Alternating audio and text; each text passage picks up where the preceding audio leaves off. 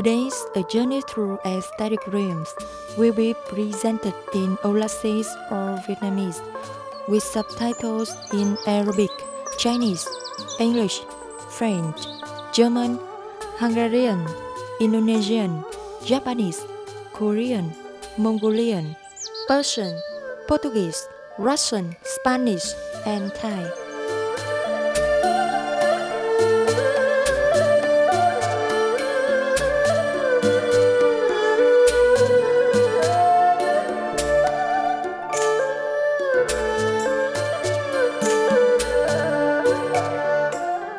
Lạc Việt Nam là một quốc gia ở Đông Nam châu Á với hơn 4.000 năm văn hiến.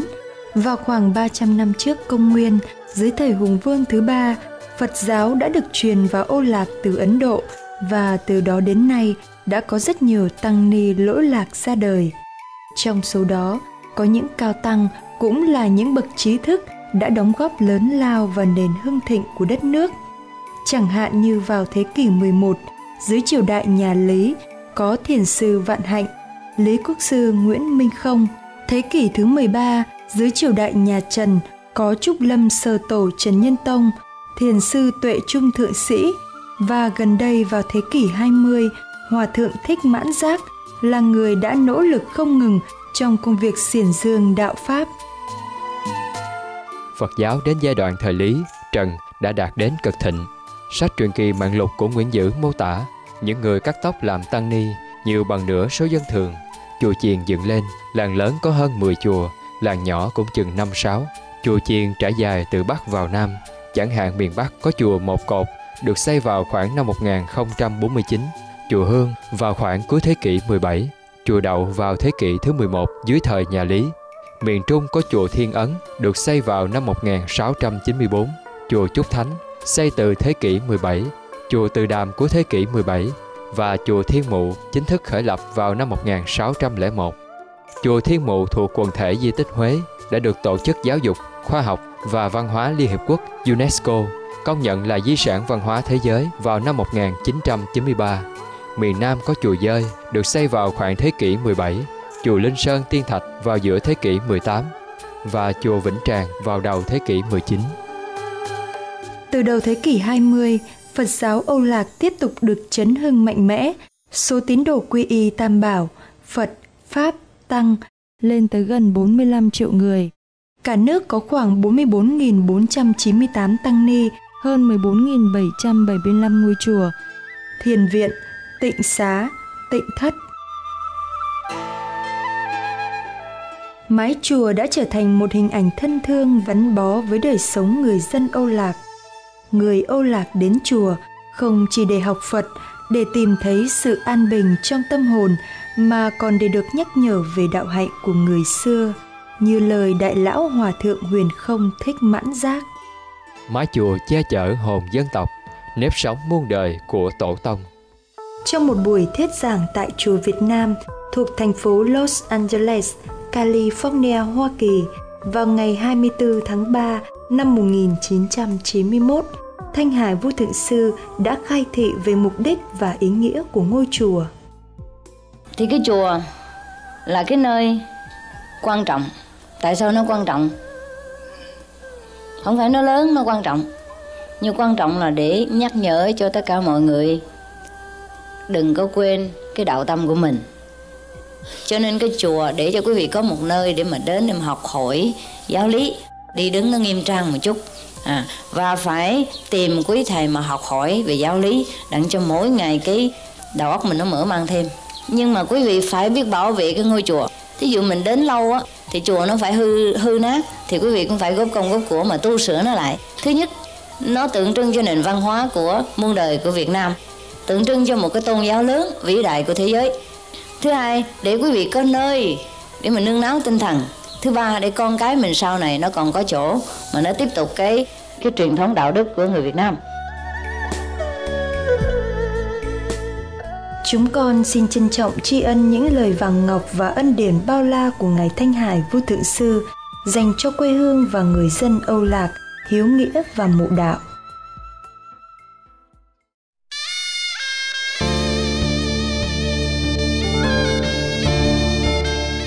Trong chương trình hôm nay, chúng tôi xin giới thiệu đến quý vị một trung tâm Phật giáo thuộc dòng thiền Trúc Lâm của Âu Lạc, đó là Thiền viện Trúc Lâm Yên Tử, nguyên là chùa Lân xưa kia. Ca dao Âu Lạc có câu Trăm năm tích đức tu hành, chưa về Yên Tử, chưa thành quả tu. Yên Tử là một ngọn núi đẹp nổi tiếng ở Âu Lạc và cũng là nơi cất giữ báu vật thiêng liêng của người dân xứ sở này. Đó là cụm di tích chùa Yên Tử, gồm 10 ngôi chùa trải dài 20 km từ chùa Bí Thượng lên tới chùa Đồng ở độ cao 1065 m trên địa bàn thị xã Ung Bí, tỉnh Quảng Ninh. Vào thế kỷ thứ 13, Âu Lạc được trị vì bởi một vị vua khai ngộ là Trần Nhân Tông. Năm 35 tuổi, vua Trần Nhân Tông nhường ngôi cho con và xuất gia lên núi Yên Tử tu hành, sáng lập thiền phái Trúc Lâm, một dòng thiền đặc trưng của Âu Lạc và trở thành vị tổ thứ nhất với pháp danh Điều Ngự Giác Hoàng Trần Nhân Tông 1258-1308. Dòng thiền Trúc Lâm được truyền từ đó và được các vị thiền sư gìn giữ cho đến ngày nay. Trong cụm di tích chùa Yên Tử, tiêu biểu nhất là chùa Đồng trên đỉnh Thiêng Yên Tử, rồi đến chùa Hoa Yên và chùa Lân –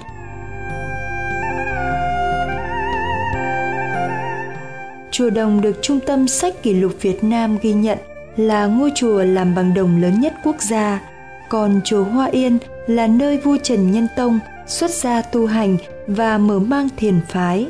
Đây cũng là nơi có hội quang kim tháp thờ xá lợi của Ngài. Cuối cùng là chùa Lân, sau đã được tái thiết thành thiền viện Trúc Lâm Yên Tử và được khánh thành vào ngày sinh của Trúc Lâm sơ tổ Trần Nhân Tông, tức nhằm ngày 14 tháng 12 năm 2002. Chùa Lân là một ngôi chùa cổ, có một vị trí khá đặc biệt, là nơi có nhiều vị cao tăng đã trụ trì thuyết pháp. Chùa được xây dựng trên một ngọn núi có hình con lân nên gọi là chùa Lân. Trong văn hóa phương Đông, lân là một loài nửa rồng, nửa thú thuộc một trong tứ linh, long, lân, quy, phụng. Lân được xem là một chúng sinh rất từ bi, nhưng có năng lực đặc biệt có thể nhìn thấu tâm ý con người nên thường được đặt ở cổng chùa với ý nghĩa kiểm định lòng người khi vào cửa Phật. Chùa Lân là nơi vua Trần Nhân Tông dừng chân trên đường lên Yên Tử tu hành. Năm 1293, Ngài cho tôn tạo chùa Lân khang trang hơn làm nơi giảng đạo, độ tăng. Có truyền thuyết rằng ngay trong đêm đầu tiên nghỉ tại chùa Lân, Thượng Hoàng Trần Nhân Tông mộng thấy cưỡi trên lưng rồng vàng, du ngoạn vào một động lớn. Trước cửa động có hồ nước xanh, nở đầy hoa sen vàng, lá sen bạc lấp lánh hào quang, hương thơm tỏa ngát. Từng đoàn rồng đất kéo về trước sân chùa. Thượng Hoàng tỉnh mộng, cho rằng đây là nơi rồng ở nên đặt tên là chùa Động Rồng hay là Long Động Tự.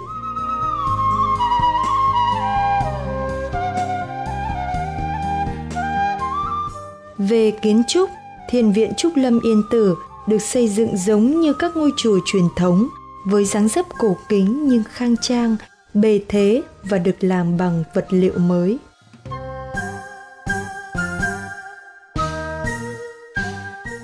Sau cổng tam quan, hiền viện Trúc Lâm bao gồm các công trình chính là chính điện, nhà tổ, thiền đường.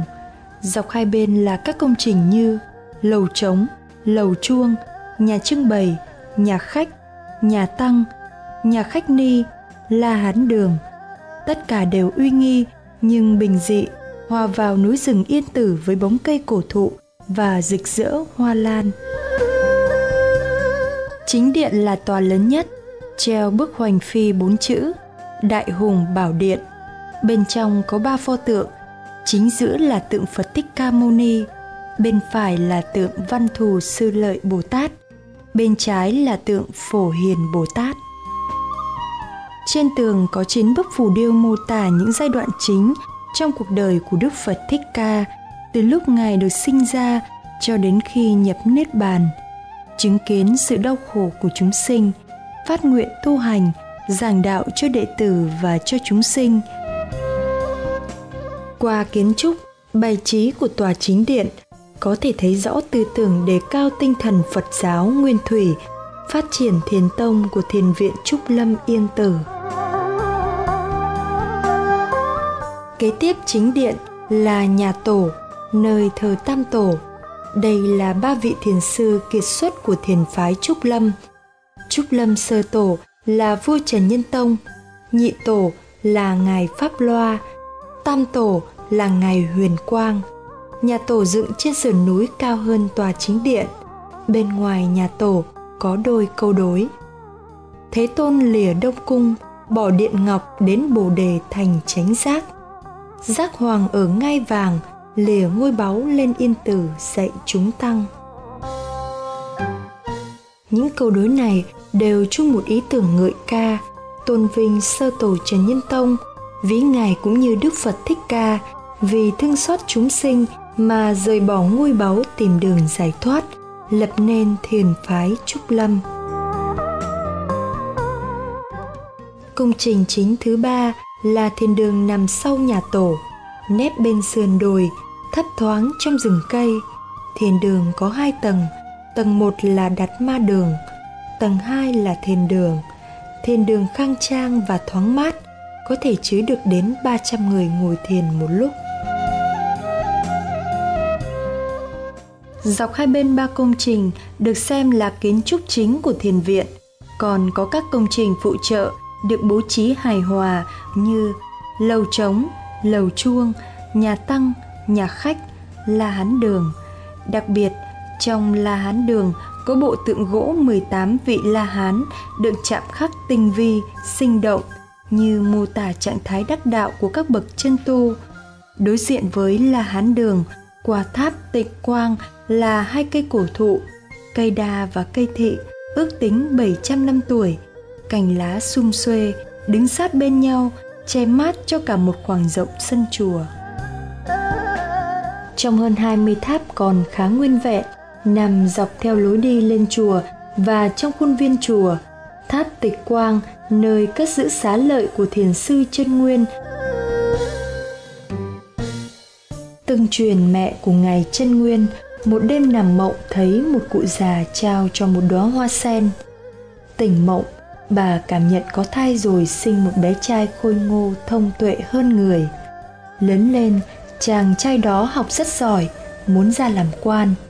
Một lần đọc thực lục của tam tổ huyền quang, chàng trai thốt lên, người xưa tài học bậc nhất trong thiên hạ như thế, còn chán bỏ công danh, xem tựa dép sách, so sánh sự sang giống như lồng dọ huống nữa ta chỉ là người học trò thì có đáng gì rồi vứt bỏ nghiên bút đi thẳng lên chùa tu hành sau trở thành một thiền sư danh tiếng có công khơi giữ truyền thống quý báu của dòng thiền Trúc Lâm. Năm 1692, Ngài được nhà Lê sắc phong là Tăng Thống Chính Giác Hòa Thượng. Trích sân thiền viện đặt một quả cầu bằng đá hoa cương đỏ, trọng lượng 6,5 tấn, Bên dưới quả cầu, trong bệ đá có hệ thống bơm nước. Khi bơm nước, quả cầu được nổi lên tách biệt với khối đá bên dưới và tự xoay tròn. Quả cầu là một khối đá liền thuộc diện quý hiếm do ông Đinh Văn Túy, một người làm nghề đá cúng giàng. Bằng phương pháp gia công thủ công, ông Túy đã làm ra quả cầu đá này với độ chính xác đáng ngạc nhiên vì nếu không thật chính xác thì quả cầu đá không thể nổi lên và tự xoay được khi bơm nước bên dưới. Quả cầu đã được Trung tâm Sách Kỷ lục Việt Nam xác định. Quả cầu như ý lớn nhất Việt Nam. Xung quanh việc chế tạo và mang quả cầu như ý này đặt tại sân thiền viện có nhiều điều kỳ diệu. Sau đây là một vài chuyện được lưu truyền. Làm nghề chế tác đá, ông Túy có ước nguyện làm một quả cầu đá để dâng lên chùa. báo ân Phật.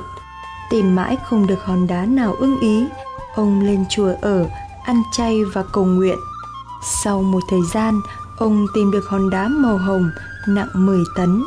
Ông bóc lấy lõi đá nặng 8 tấn, rồi mài 18 tháng, cả ngày lẫn đêm, được quả cầu nặng 6,5 tấn. Khi mà tôi uh, sản xuất được cái quả cầu lớn này thì cũng rất nhiều người muốn mua vì nó cũng là một cái thứ nó hiếm cụ thể như đấy à, như là là là ở dưới à, Hải Dương ấy, là người ta rất muốn mua quả cầu này để người ta đặt trưng bày ừ, 50 năm ngày thành lập thành phố Hải Dương. Tôi nói người ta là cái quả cầu này đã hứa là cung tiến cho Phật rồi. Đấy. Thế đến khi là các anh nói rằng là chỉ bác cho bọn em mượn về để em trưng bày. Khi nào mà bác làm xong quả cầu khác thì bác mang đến thay thế. Khi nhận lời thì đến lúc cẩu quả cầu ra khỏi máy thì ba lăng bị hỏng rồi xích ờ, dây cáp bị đứt. Quả cầu rơi xuống máy và bị hỏng cái bệ máy luôn. Cho nên lúc đó tôi sợ quá tôi bảo thế thì tôi cũng trả lời với các anh là thôi các anh thông cảm là không được bởi vì cái này tôi đã hứa cung tiến cho Phật rồi. Nhưng mà cũng rất may thì nhà chùa có thông báo có quyết định rằng là cho phép đặt ở trước thiền viện. Đấy, cái sân trước thiền viện bây giờ thế lúc đó thì nó có một cái rất kỳ lạ. Thì đúng là cái năm hạn hán rất lớn, rất nhiều nhiều nơi hạn hán. Đến sau khi mà quả cầu chuyển được xuống đấy rồi, thì bắt đầu trời mưa. Mà mưa cứ mưa mưa liên tục, mưa nhiều.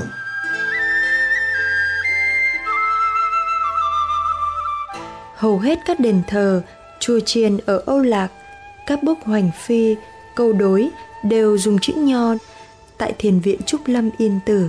Ngoài một số hoành phi cổ viết bằng chữ nho còn được lưu giữ, phần lớn còn lại đều được viết bằng chữ quốc ngữ dễ đọc, dễ hiểu và nhờ thế đã đáp ứng được nhu cầu tìm hiểu văn hóa phật giáo của đại chúng.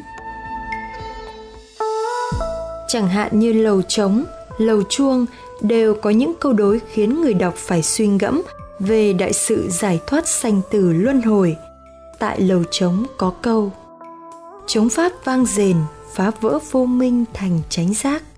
Lời kinh cảnh tỉnh xẹp tan mê muội đạt quang minh. Bước đến lầu chuông, ta thấy câu, hồi chuông thúc dục khách phong trần sớm tỉnh cơn mê. Lời kệ nhẹ khuyên người cầu đạo quay về bến giác. Còn rất nhiều câu đối được ghi khắc khắp nơi trong chùa, ngôn từ đẹp đẽ ý tứ sâu xa. Người đọc được suy ngẫm, được chỉ dạy chân lý bằng ngôn ngữ của dân tộc. Thiền viện uy nghi, chùa lân cổ kính, chúng tăng vừa tu, vừa gìn giữ, vừa phát huy thiền phái trúc lâm, một dòng thiền đặc trưng của âu lạc.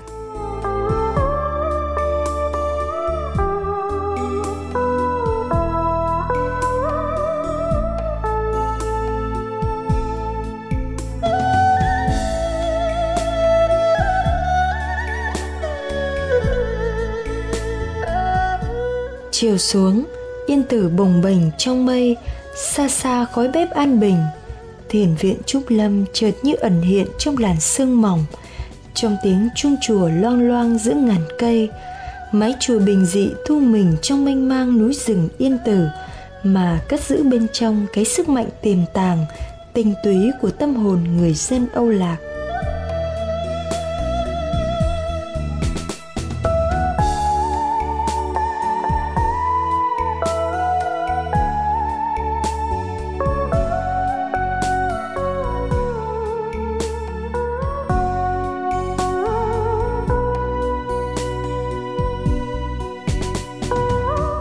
Cảm ơn quý khán giả đã cùng xem chương trình giới thiệu Thiền viện Trúc Lâm Yên Tử, một trung tâm Phật giáo tại Âu Lạc.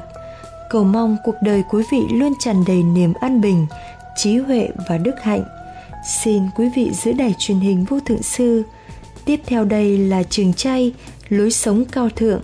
Sau tin đáng chú ý, chúng tôi xin kính chào tạm biệt. Thank you for watching today's program introducing Lâm Yên Tử Jain Monastery, a Buddhist center in Olak. May your life be filled with peace, wisdom, and virtue. Please stay tuned to Supreme Master Television. Coming up next is Vegetarianism, the noble way of living, right after Noteworthy News. So long for now. For more details, please visit www.suprememastertv.com forward slash AJAR